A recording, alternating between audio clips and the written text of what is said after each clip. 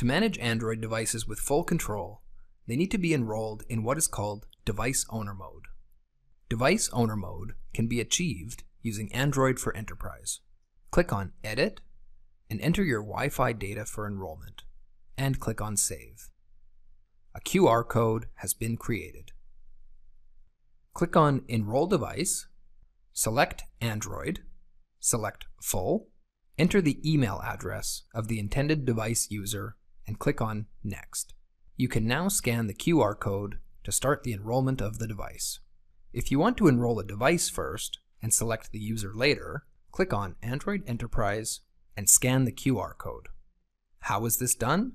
Turn on the new or factory reset device, tap the screen six times at the welcome screen, and a QR code reader will appear. Read the QR code and click on Accept and Continue. The setup is underway. After a few moments, the device has connected to Miradore Online. You can now see the device by clicking on Devices. Double-click on the device, select Settings, click on Edit, assign a user, and click on Save.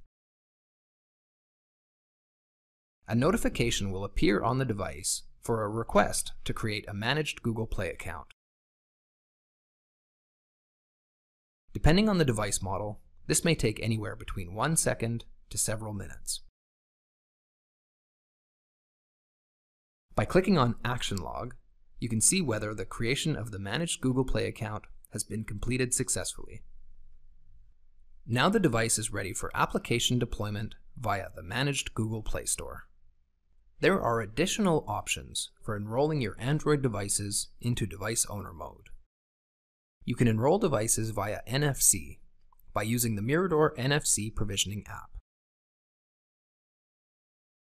You can also use a DPC token. Find more information from the QR code below. Or you can use mass enrollment programs such as Android Zero Touch and Knox Mobile Enrollment.